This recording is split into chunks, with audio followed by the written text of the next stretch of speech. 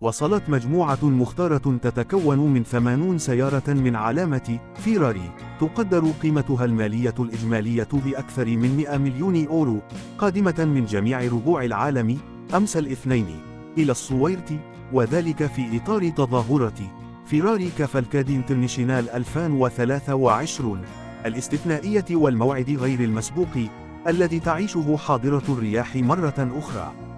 وتجمعت هذه التشكيلة من الموديلات المتنوعة والتحف من علامة السيارات التي تتخذ من الحصان الجامح شعارا لها في عرض كبير وبديع.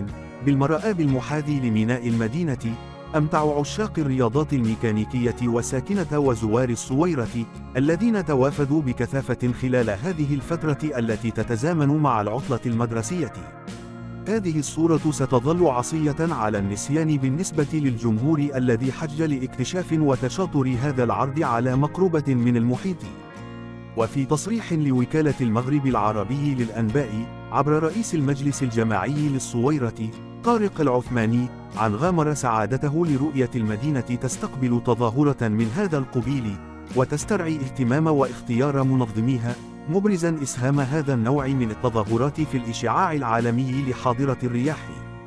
وأوضح أن هذا النوع من التظاهرات يأتي لتعزيز سمعة الصويرة كوجهة سياحية مفضلة ولتكريس مكانة هذه الحاضرة العريقة كملتقى وأرضية لاستقبال أحداث استثنائية كفيلة بالمساهمة في النهوض بالنشاط السياحي على الصعيد الوطني.